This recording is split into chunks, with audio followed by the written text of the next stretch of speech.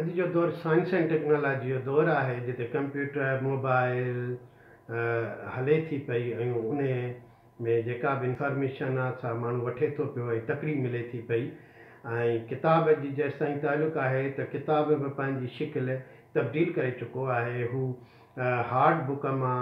जेको सो ई बुक में तब्दील थी वियो आहे पर इन जो इहो मतिलबु न आहे त जेको हार्ड बुक आहे उन का अहमियत घटिजी वई आहे पर हिन साइंसी दौर में हिन टेक्नोलॉजी दौर में किताब जी अहमियत अञा बि वधी वई आहे इहो मुंहिंजो नुक़्ते नज़र आहे छाकाणि त किताब जो रीडर वधंदो थो रहे ऐं किताबु हिकिड़ो अहिड़ो दाइमी इंफॉर्मेशन जो सोर्स आहे जेको कॾहिं बि ख़तमु थियणो न आहे असां वटि बख़्शल बागीअ जो ई किताबु जेको आहे सो हिकु एकटीह मज़मूननि ते मुश्तमिल आहे संदसि जेके बि मुताले हेठि किताब रहिया आहिनि उन्हनि किताबनि ते हिन खुली तरह लिखियो आहे पंहिंजी राय जो इज़हार कयो आहे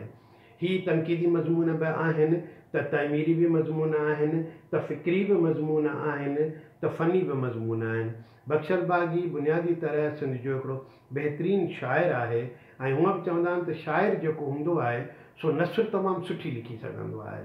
हीअ नसुर तमामु बहितरीनु लिखियलु आहे हिन में ॿोलीअ जो तमामु बहितरीनु इस्तेमालु थियल आहे हीउ किताबु अढाई सौ पेजनि ते मुश्तमिल आहे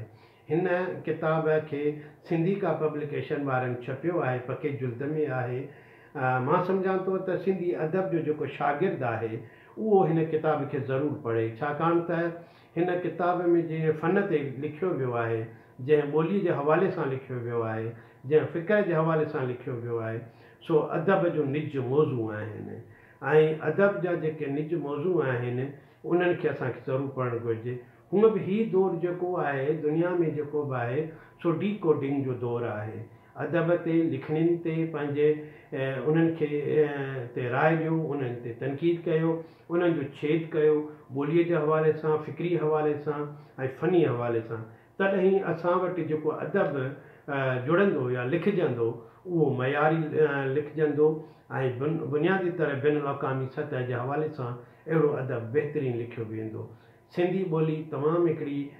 वॾी ऐं क़दीमी ॿोली आहे उन जो अदब बि अहिड़ो ई क़दीम ऐं हिकिड़ो शाहूकार अदब आहे ऐं बक्शरबागीअ खे शाबिक़ु हुजे जो हिन ई किताबु लिखियो आहे ऐं असांजे अदब जे दोस्तनि जे लाइ हिकु अनमोल तोहफ़ो आहे महिरबानी